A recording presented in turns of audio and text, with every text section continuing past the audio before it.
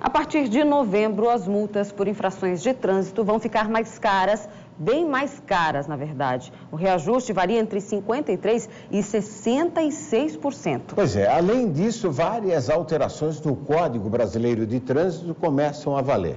Entre elas, multa específica para quem usa o celular ao volante, para quem se recusa a fazer o teste do bafômetro. Vamos ver.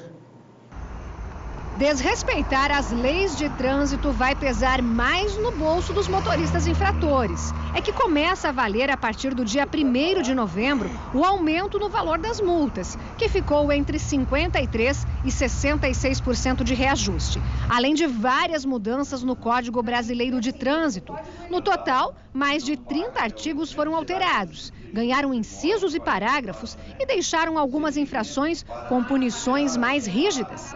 A partir de novembro, a infração gravíssima, que era de R$ 191,54, vai custar R$ 293,47. A infração grave passou para R$ 195,23. A infração média para R$ 130,16. E a infração leve, que era de R$ 53,20, vai custar quase 90 reais.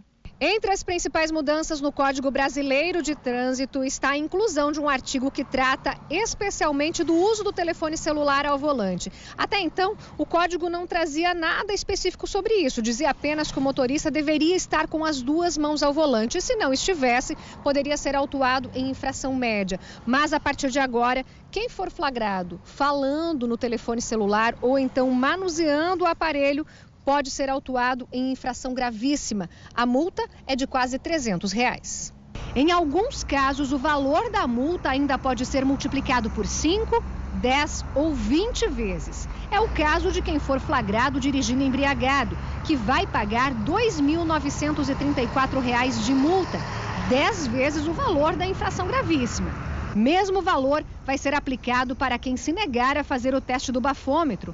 Em caso de reincidência, a multa chega a dobrar e pode custar mais de R$ 5.800. Segundo este instrutor de trânsito, deixar a lei mais rígida é uma necessidade para evitar tantas tragédias. Hoje, no Brasil, mais de 50 mil pessoas morrem em acidentes de trânsito todos os anos. Tem que ter paciência, controle não posso usar da minha irritação para estar no trânsito, porque o, o veículo em si, ele não causa problema nenhum.